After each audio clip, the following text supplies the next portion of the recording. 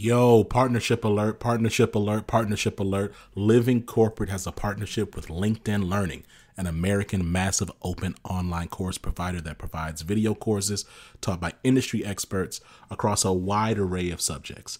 Now, the partnership is because Living Corporate has courses on LinkedIn Learning focused on diversity, equity, inclusion for leaders, career professionals, and anyone really looking to upskill themselves and be better allies. So make sure you check out our courses on LinkedIn Learning by clicking the link in the show notes. And let's just say you don't want to do that. You go to LinkedIn Learning on LinkedIn, search Living Corporate. We'll be right there. All right. Peace.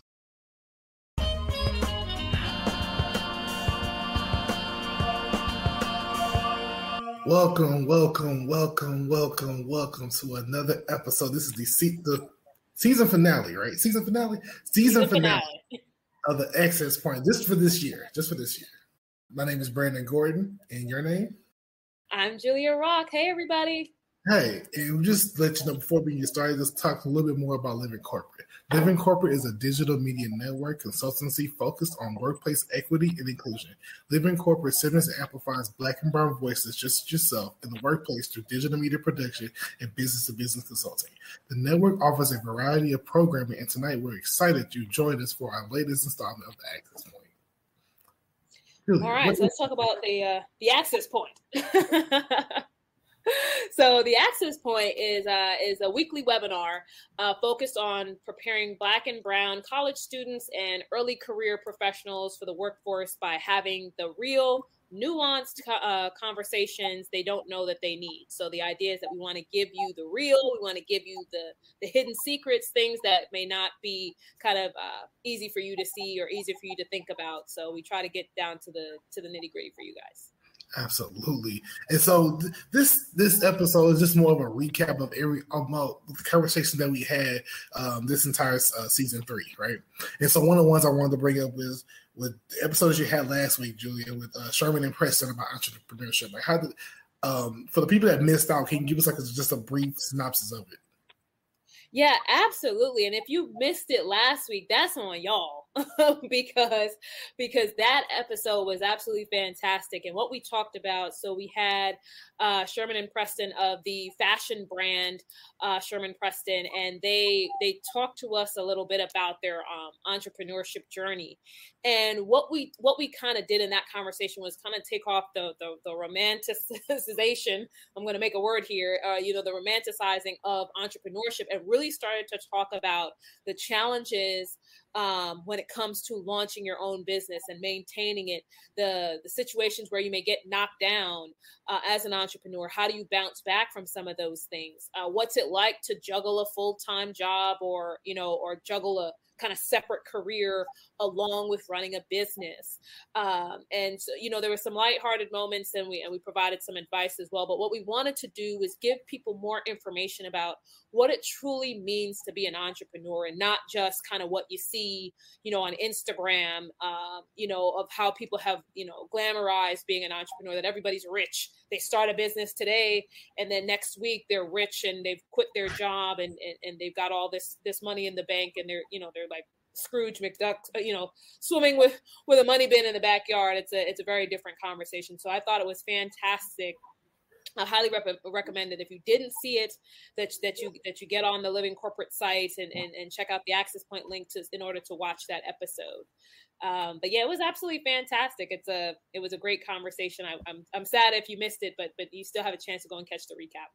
Right, absolutely, and yeah, just just for any episode, you can catch us on Apple Podcasts. You can see us live on Crowdcast as well too, and, we also live on LinkedIn and live on Facebook as well. So you can catch us on all those platforms to, to look at those episodes, right?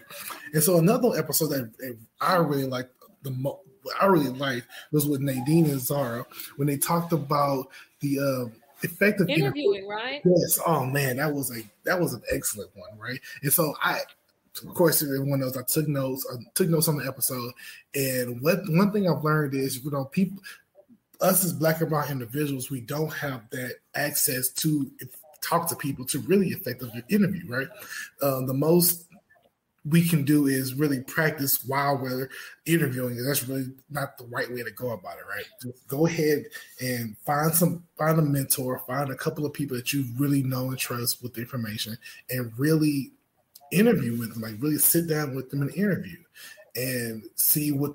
How do you interview? Different types of interview. How do you answer certain questions? How do you ask certain questions? Right.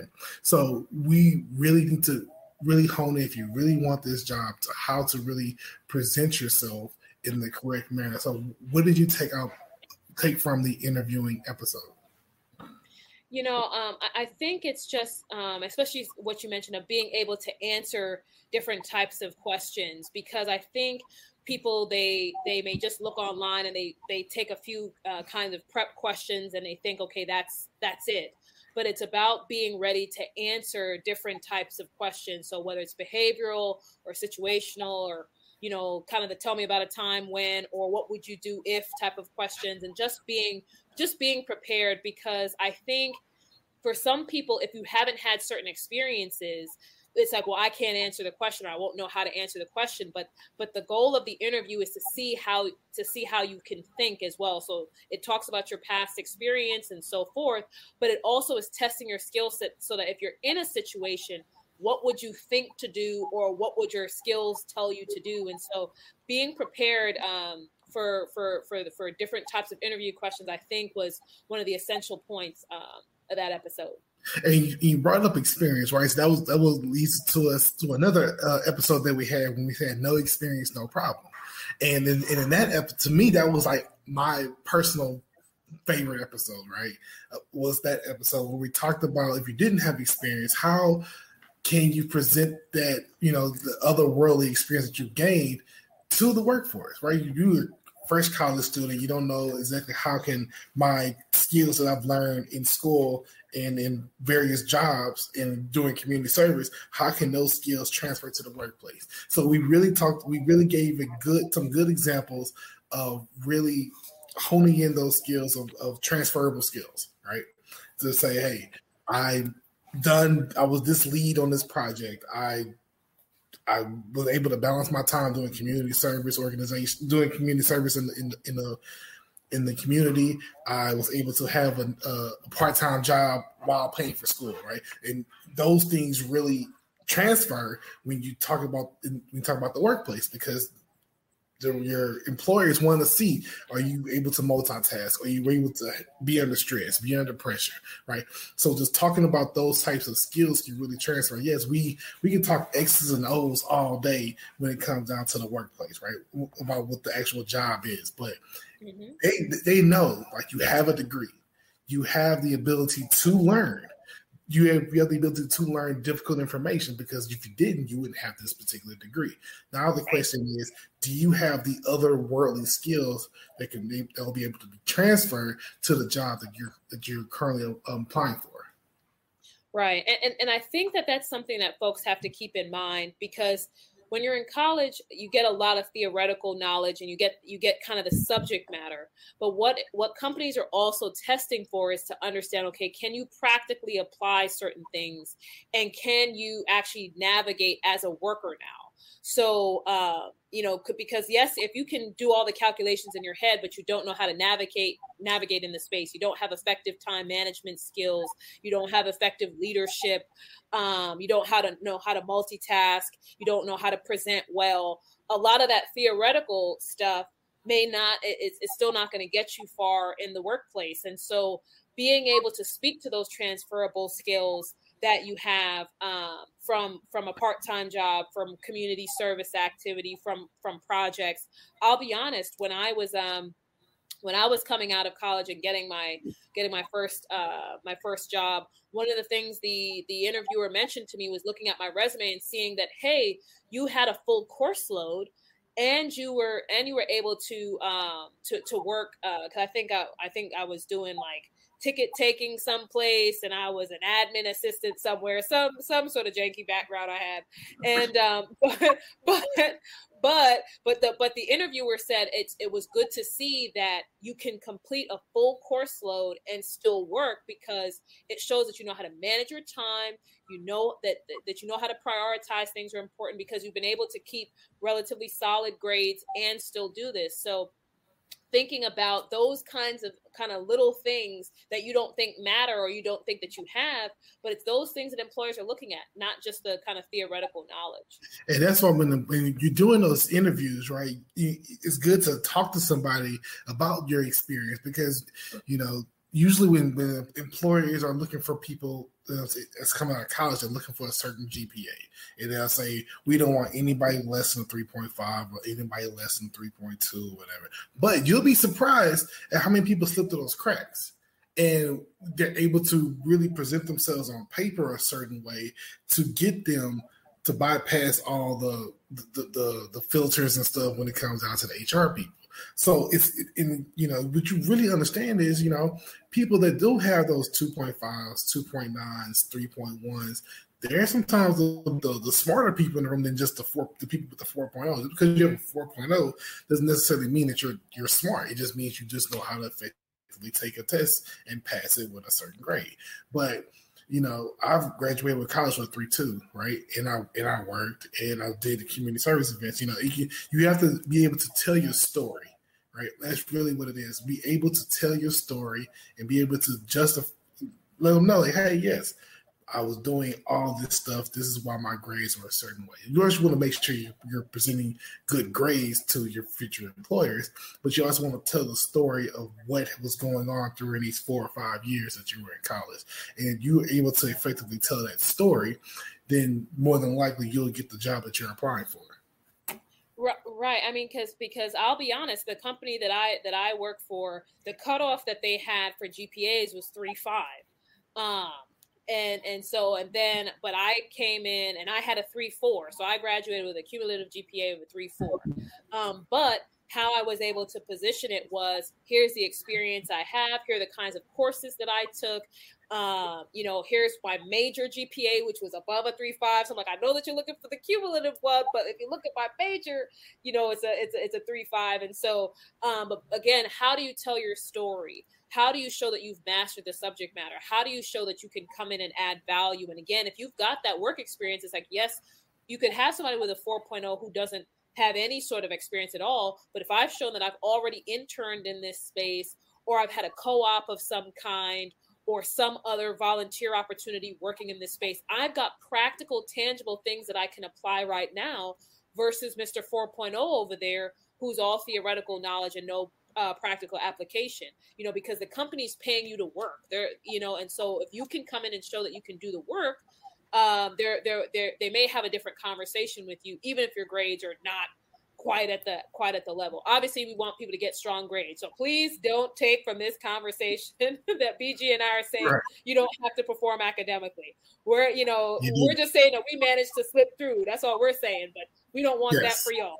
Prioritize yeah. your grades guys. Yeah, speaking, of, speaking of grades, we had a very great episode with, with Caleb, and you know, Caleb was just a, a, a recent graduate of um, Texas State, and he talked about his experiences of going out to the workforce and really uh, applying what he what he's what he's trying to learn, not applying, but he's trying to learn, you know, on the fly now how to interview, how to talk to people, how to build up your LinkedIn profile, how to build up your resume, so we can present those types of things to future employers to, to get the positions that he want. So, you know, that's one of my main takeaways just from this season. Like, if you really want, if you're in that position where you're a, recent college grad and you don't know where to start, start with that episode first.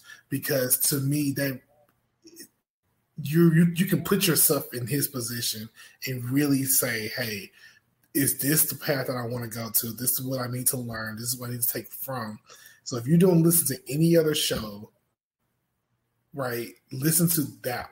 That one is the one. So that's your basis for what the access point is all about, right? So, Absolutely. Julie, do you have any comments on, on that one as well?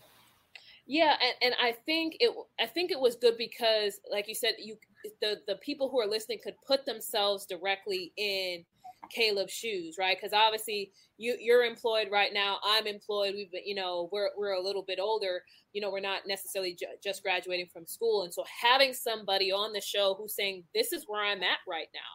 This is, um, you, you know, this is what I'm. These are the challenges I'm facing. You know, the folks who are watching can kind of see themselves in Caleb and and and and but also as they're listening, they can hear the advice that that that Caleb received and see how they can apply it for themselves in their own kind of uh, career search and, and, job search. So if you're a new grad who's just starting out and don't know where to start, or you've been applying and you don't feel like you've been successful, or you don't know how to position yourself, listening to that episode will give you some some real nuggets as to this is how you can approach um, this is how you can approach that job search process, and this is how you can highlight your transferable skills you know on your resume and that kind of thing. So that that that episode was was was pretty robust and and like i said i think it's beneficial for the folks who are at the same kind of are in the same boat as caleb and they can kind of see themselves um, and hopefully apply some of some of what we what what we were able to share with caleb. Right. And so you know we we talked about sharing information. We talked about um interviewing. We talked about you know um not having experience and really trying to reach out to somebody that does have experience, right? So building those types of relationships with those people so you can share this type of information, right? So we had an episode with uh, Reginald Bimbo um, yeah. talking about cultivating. Man, that seems so long ago now. Like I'm like, know, right? I'm like, dang, oh yeah, we did have that episode. right. So we had an episode Reginald Bimbo talking about cultivating authentic relationships, right? And so he he gave us a why. Please go if you have the chance, go listen to the episode. He dropped some some real good gems on there. Uh, just talking about talking to people, right? You know, he's he's running for office in Maryland, so you know his job all day is to talk to people and make those authentic relationships, right? He talked about you know reaching out to people on LinkedIn, reaching out to people, you know, to say, hey, this is what I'm doing. Uh, and I'm checking in on you, see how you are. This is what I'm doing on my on, on my front on the political side, please join us, right? And so you don't have to go in that right on the political side, but you, what you can do as um, college, uh, you know, college grads, entry level people, mid level career is find people that are willing to work with you, to sit down with you, and just have that conversation. It could be about work, it could be about school, about family, but just having that person to talk to and building that um, having a confidant to really help you in your, in your, career path. You know, sometimes you may fall by the wayside. You need somebody that's going to help you pick you back up and say, "Hey, Brandon, you're doing this. Hey, Julie, you're doing this. This is good. Keep it up." Or I would do it this way, or I would look at it a different way, right? But you have that trust in that other person you've been talking to for so for so long that hey, I trust you with this information. We can go ahead and make it better. And so that's one of the things that I've learned uh, the original and, and doing that show with him was just you know talking to people, right? Not really just like trying to boast, boast and brag about myself, but just talk to people just organically. Right? If you build it, if you have that open line of communication, you'll be surprised at how many doors are open just with that. You know, yeah. not really and not just with like just business, but it's personal as well. Like you're trying to run a business, so you, you're trying to be in politics and you're just trying to go up the corporate ladder, right? You have to make those types of relationships. You don't people trust people who interact with them. People trust people who are talking to them. People who trust people who are not closed off because you don't you can't you don't know what they're up to. Right? Where we like what are you doing? Why are you quiet? You know, once you get really get to know people and talk to them, you really get to understand them, right? You build more trust in them. When you build more trust, people trust you and that's really what the, the goal of it is: the people to trust you. Absolutely, and and I think you know going back to to to, to building those authentic relationships. You know, he, he he talked a little bit about you know, almost like playing the long game with relationships. So, not trying to engage people just to get something immediately.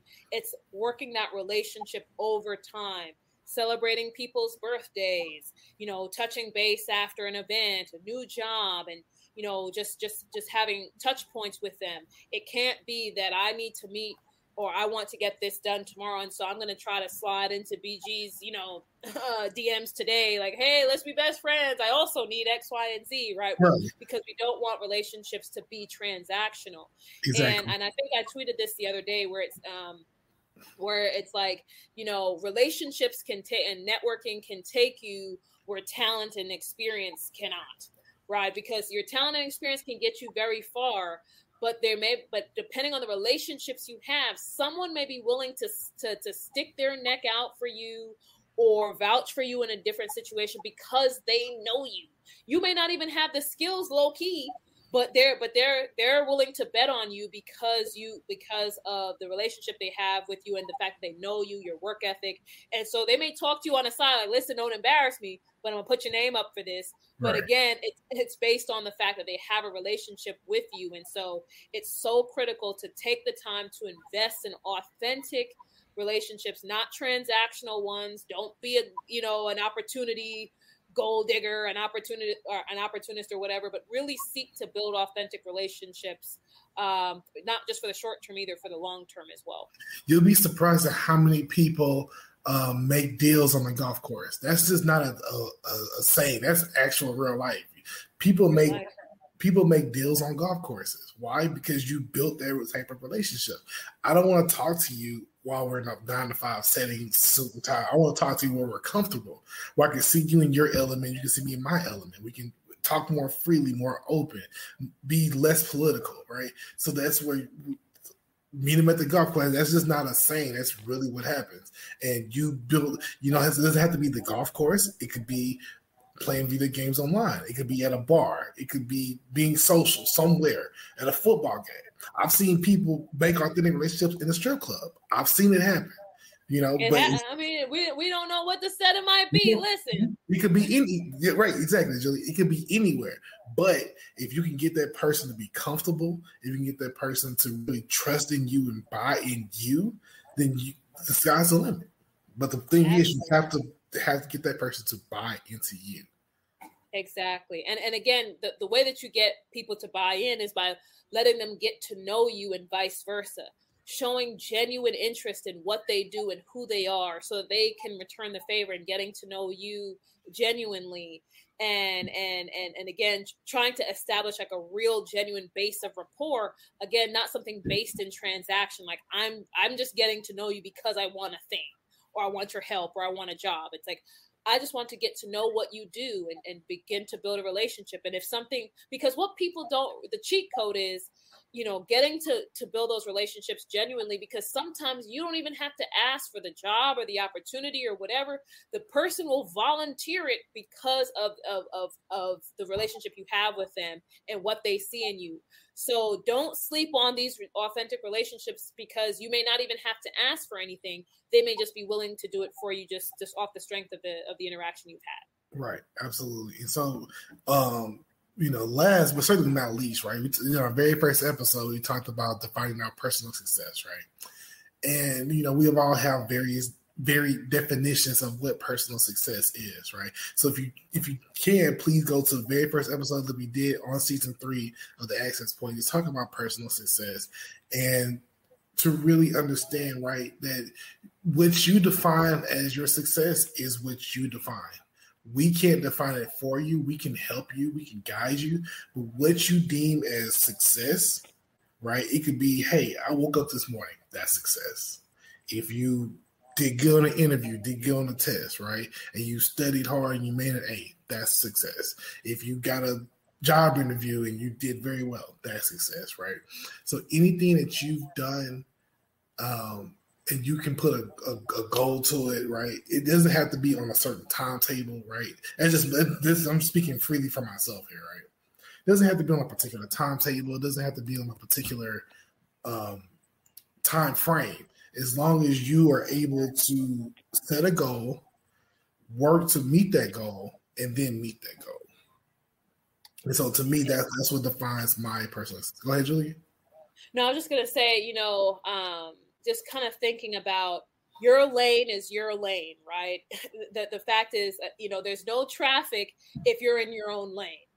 right? So that you know, there's no there's no one to look at if you're in your own lane. And so thinking about what you define as success, not letting social media dictate that to you, not letting other people dictate that to you. So what you feel is is is going to be um, kind of where you feel like you've made it personally. What are the things that are important to you? And that's really what success comes down to. Um, you know, there was a time where success for me was like I wanted to be, you know, on the cover of, of Fortune and I wanted to be the first black, you know, investment banker billionaire. Like I had a whole thing uh, that I wanted to be when I first started in college in finance. But over time, you know, what I saw for myself in terms of success was me having more of an impact on people.